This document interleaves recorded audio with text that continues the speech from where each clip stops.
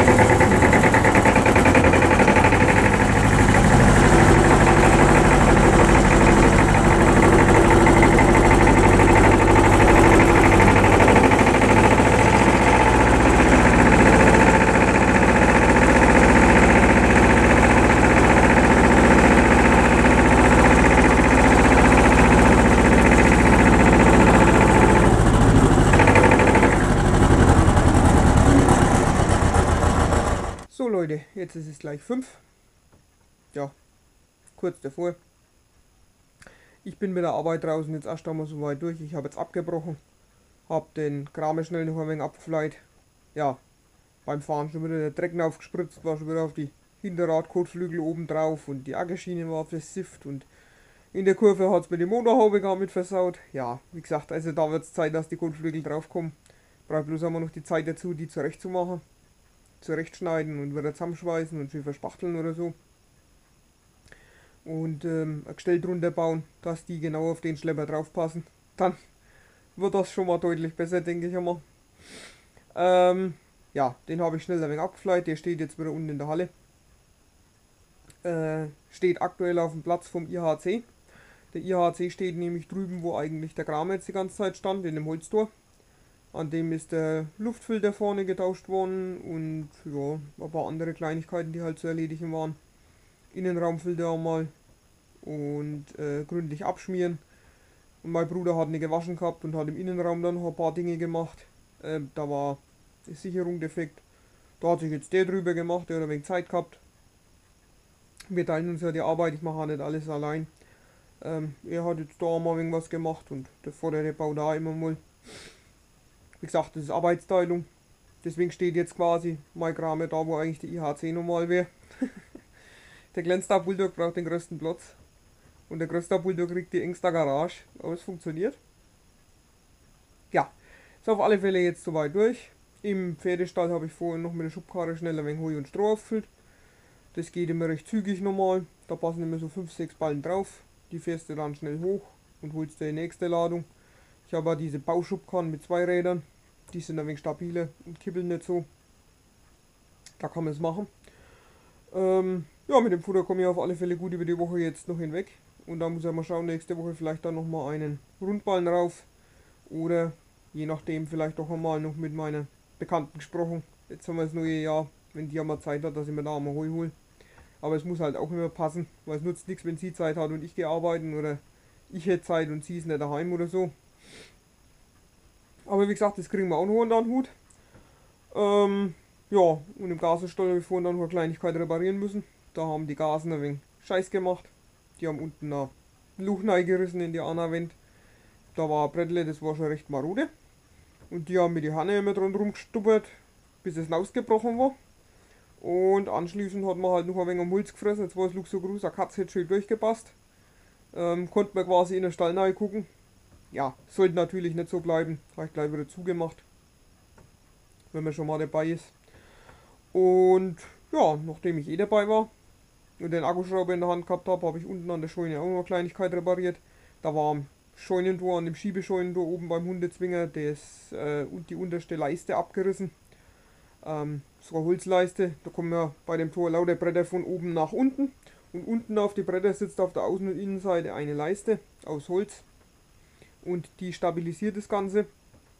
Ja, im Wind und so arbeitet natürlich das Tor. Das wackelt, das schwingt im Ganzen ein bisschen. Ist ja doch recht groß und lang.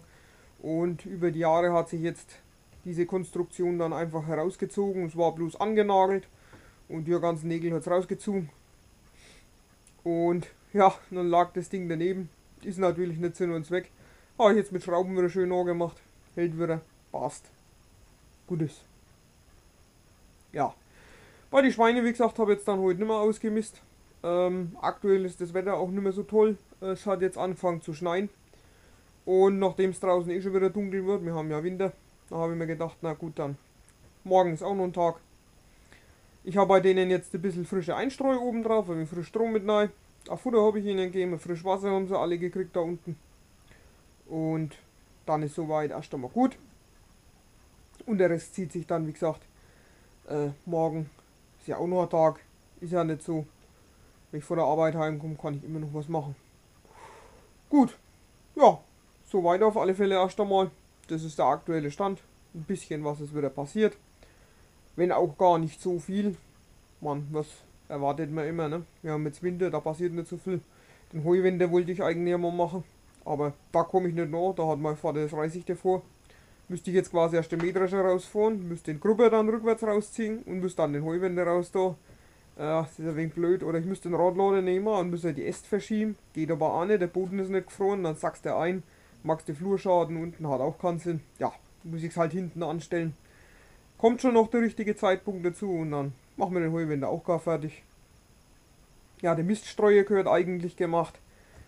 Da fehlt aber im Moment einfach schlichtweg das Geld dazu. Ähm, da müsste ich jetzt dann passende Stahlrohre kaufen und die ganzen Arme wieder aus Winkeleisen drauf machen. Das ist kein großer Akt, aber es müsste ich müsste ja die Zeit dazu haben, die habe ich im Moment nicht. Ähm, am Kippe ist noch was zu machen, das sind die Räder kaputt. Die waren ein wenig blöd gestanden, ist die Karkasse gebrochen. Ja, im Stottel wollte ich eigentlich umher noch was machen. Ich sage, Arbeit gibt es genug, irgendwann, irgendwie. Im Moment gibt es andere Sachen. Wir sind im Hausumbau. Das ist jetzt erst einmal wichtig, dass das gemacht ist. Und das andere, da findet sich noch ein Zeitpunkt dazu. Ist für heuer alles geplant, irgendwie. Ich meine, Hexen kann ich halt nicht. Der Miststreuer hat noch Zeit, den kann ich ein bisschen nach hinten schieben. Den brauche ich frühestens Ende August, Anfang September. Ähm, geplant ist ja zum Beispiel auch noch die Bulldog-Garagebauer und und und. Ach, das sieht man. Na gut, in diesem Sinne, jetzt würde ich sagen, das war's für dieses Video. Schon wieder viel zu viel gelabert. Wir sehen uns am Freitag ganz normal wieder um 16 Uhr. Und bis dahin wünsche ich euch eine schöne Zeit. Servus.